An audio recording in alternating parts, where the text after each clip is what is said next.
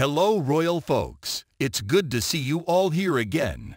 This is your regular dose of royal news and analysis. But before we start, please subscribe to my channel and click the bell icon. Thanks.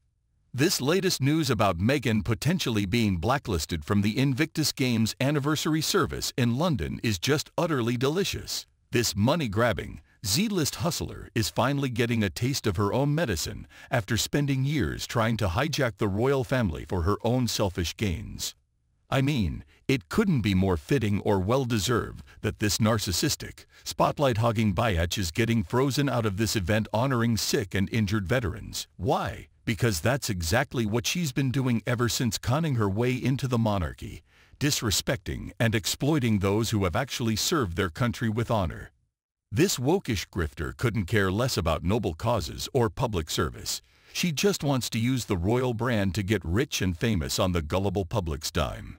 That Netflix reality show fiasco proved it. She'll do anything to stay relevant and milk the royal cash cow, even if it means betraying her own husband's family. And speaking of betrayal, did you see those disgraceful potshots Princess Pinocchio and her little doormat husband took at the royals in Harry's tantrum of a memoir? Crying about feeling trapped in a palace with servants and jewels, playing the race victim when she's the one spewing anti-English bile. Give me a break.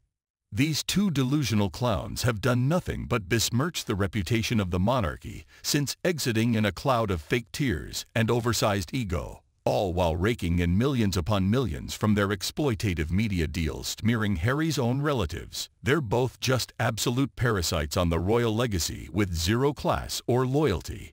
So you're Dan right, Meghan shouldn't be allowed within a hundred miles of the Invictus Games celebration after repeatedly crapping all over its spirit of honor and service before self. This event is for people who actually sacrifice for the greater good, the polar opposite of Miss, woke Wimbledon royalty over here. Maybe if she had spent more time in the past few years actually earning her royal stripes through charity work and public service instead of just playing dress-up princess on blogs and social media, people might take her seriously. But she's shown her true colors as nothing but a vapid, self-obsessed celeb chaser willing to burn bridges with her husband's family for a Netflix paycheck. So cry me a river, Meghan. Consider this a kick of karmic comeuppance for endlessly disrespecting the institution and people who graciously allowed your LA loser persona into their ranks.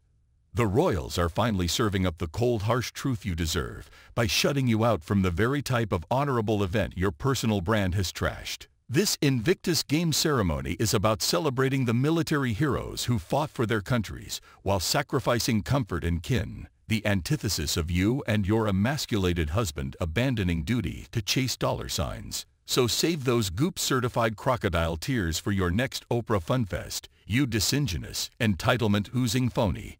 Because thank God the powers that be are finally allowing this vile, divisive woman's true nature as a selfish, clout-chasing grifter to be exposed on the world stage. We've all had to put up with her grotesque lack of grace, humility and honor for far too long already. The Royals made the bed bringing in this talentless celebrity thirsty leech. Now they can lie in it by rightfully exiling her greedy, manipulative ass from events honoring those who've actually displayed courage and integrity. You know, the precious values the monarchy is supposed to uphold, not constantly desecrate for a buck like Princess Pinocchio and her disloyal doormat husband. So keep crying those fake activist tears into your millions, Meghan. This Invictus Games blacklisting is the cold hard proof the world sees through the merciless narcissist hiding behind that phony progressive Princess Assad. You're not representing anyone's voice but your own insatiable ego and bank account.